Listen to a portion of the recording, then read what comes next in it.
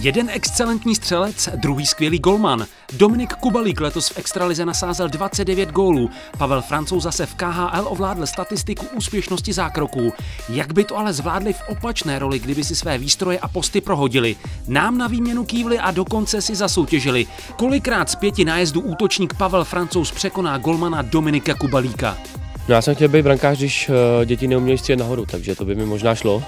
Ale potom jsem se začal bát puku, takže, takže jsem šel do útoku. Kanonýr z Plzně se do brankářské výstroje navlékal mnohem déle a pokud by mu Pavel Francouz párkrát neporadil, možná by to dopadlo všelijak. Navíc si nechal své brusle. V těch brankářských by to prý nedal. Tak váha je to strašná.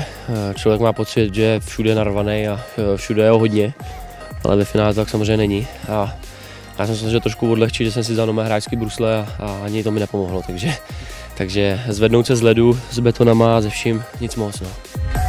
Pavel Francouz brankářské brusle naopak odložil a užíval si lehčí výstroj. Bylo to určitě hodně lehčí a, a rychlejší, no, takže a pro mě velká změna. Zároveň, když jsem šel na tenhle, tak jsem si připadal, kdybych šel na hatej, protože je tady spoustu jakoby, volných míst na té výstroji a, a není to ani tak těžký. No.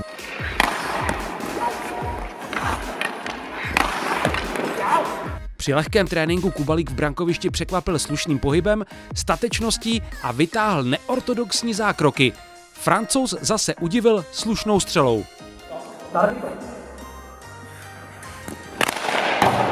Jednou ranou dokonce svého parťáka poslal k zemi. Ani to moc nebolí, ale ten pocit, že mi to letí do obličeje nic moc, takže mě to spíš jako porazilo, že, že jsem jakoby najednou viděl puk, který je 20 cm ode mě a, a člověk s tím nic neudělá, takže, takže nic moc. No. Karty byly rozdané. Chcete vědět, kolik gólů Pavel Francouz dá Dominiku Kubalíkovi? Počkejte si na celou reportáž už brzy na hokejka.cz.